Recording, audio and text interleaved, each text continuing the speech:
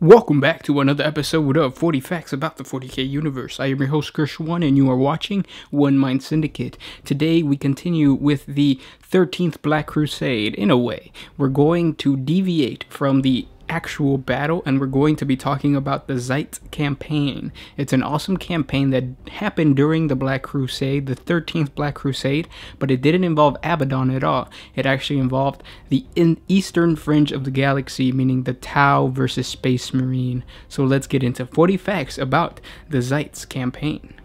The Zeist campaign was a military conflict fought between the Imperium of Man and the Tau Empire in the Zeit sector of the Ultima Segmentum taking place during the Tau's Empire's Third Sphere expansion.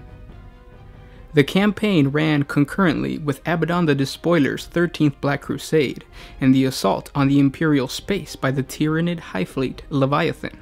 By the year 997 of the 41st millennium, Tau expansionist activity encroached upon imperial worlds within the initiation of the Tau Empire's third sphere expansion. This expansion was notable in that the Tau Empire resorted on occasion to annexing imperial planets by military force, rather than the more common approach of cultural subversion.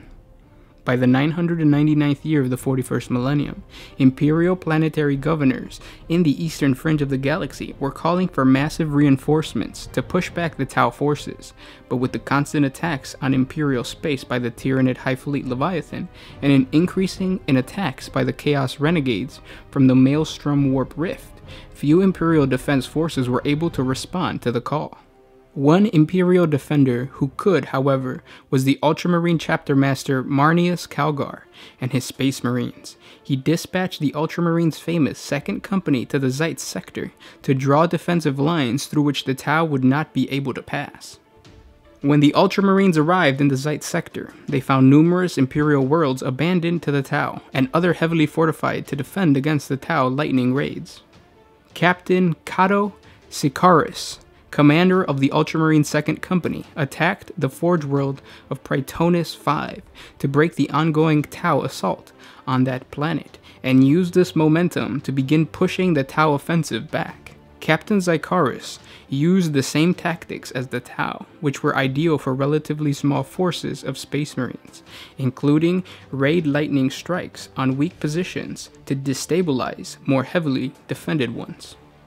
Due to the Ultramarines' efforts, the Tau expansion slowed and then stopped under the Imperial assaults. Eventually, only the world of Algora in the Zeist sector remained in Tau hands, as their only remaining logistical and repair source in the area.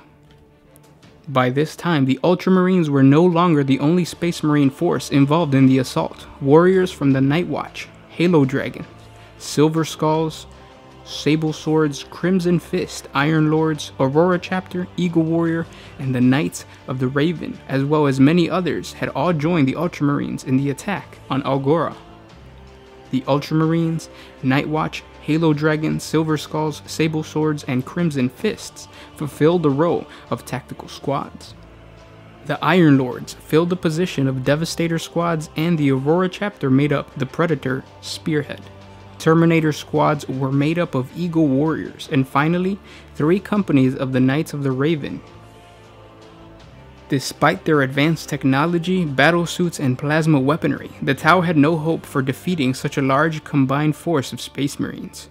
Algora's fortresses, shipyards, and weapon factories were either badly damaged or destroyed by the Space Marine offensive.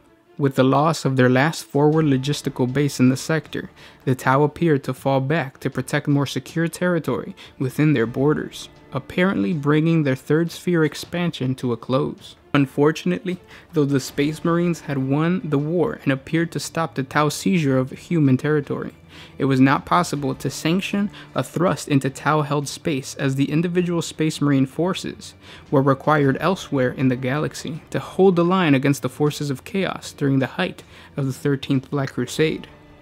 Reluctantly, Captain Sicarius returned control of the defense of the Zeist sector back to its planetary governors. Later intelligence would reveal that the Tau had anticipated the Imperial counterattack, and that the Zeist sector campaign was used as a colossal diversion. tying up the elite of the Imperial Rapid Response Forces in a sacrificial zone to allow the Tau to launch offensive against more vulnerable targets in the other sectors. Many worlds of the Imperium toppled to the onslaught. Among the victories won by the Tau at this time was Commander Shadowsun's conquest of the strategically important Imperial world of Agrella, which took mere months after the conclusion of the Zeist campaign. And those were 40 facts about the Zeist campaign. Well, in reality, it was only 19, but you can uh, dissect more facts from the bigger facts, I guess. Uh, thank you guys so much for listening. Like this lore shows you, Tau players are not not to be trusted. So, uh, Sound Alchemist, I'm talking to you. He's a Tau player for all you that don't know. It's the other guy, the other voice that you hear. Uh, thank you guys so much for listening. Again, if you're not a subscriber, please subscribe to the channel. You're going to get Warhammer 40k lore videos every single day, and I'll catch you guys in the next one. This was Gersh1 with One Mind Syndicate, signing out.